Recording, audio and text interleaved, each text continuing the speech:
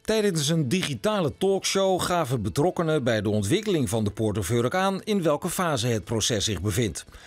De toekomstige haven is populair, zegt wethouder Nathanael Middelkoop.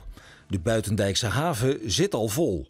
Ja, die is uh, inderdaad vol. Uh, naast de gemeente zijn daar acht ondernemingen die zich daarvoor hebben ingeschreven. En we hebben wel heel bewust er als gemeente voor gekozen om ook een kavel op die buitenrijkse haven uh, in bezit te nemen. Zodat we de bedrijven die we nu al op Urk hebben en straks ook binnendijk zich zullen gaan vestigen, ook een mogelijkheid hebben om over die kavel heen toegang tot het water te hebben. En binnendijks? Binnendijks uh, nou, hebben we in totaal een plangebied van 100 hectare. En uh, binnen het bestemmingsplan hebben we inmiddels 60 hectare hebben we geregeld.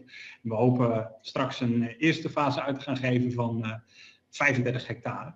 Dus dat gaat fasegewijs. en als we kijken naar de belangstelling die door bedrijven wordt aangegeven, nou, dan zien we toch wel dat rond de 50 hectare dat daar in ieder geval geïnteresseerden voor zijn.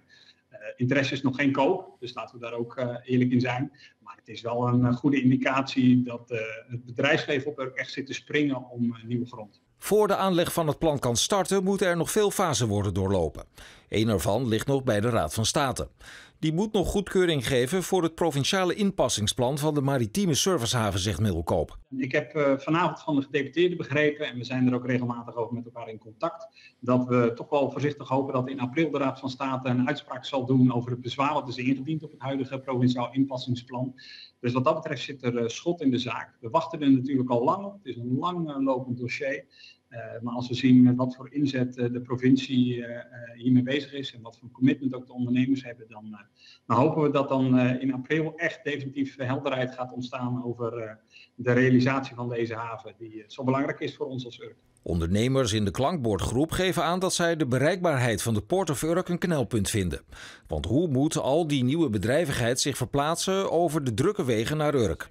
De gemeente is in gesprek over de aanleg van een nieuwe randweg. Dat is een randweg die zich uh, aan, de, aan de oostkant van Urk uh, gesitueerd ziet, waardoor verkeer wat meer voor de noordkant van Urk op ons dorp, naar ons dorp toe komt, eigenlijk vervroegd afgetakt kan worden die noordkant op. Port of Urk moet een project met allure worden. De gemeente stelt daarom eisen aan de bedrijven die zich er willen gaan vestigen. Maar de criteria staan nog niet op papier. We hopen toch wel dat dat uh, medio 2022, halverwege de 2022, uh, helder wordt.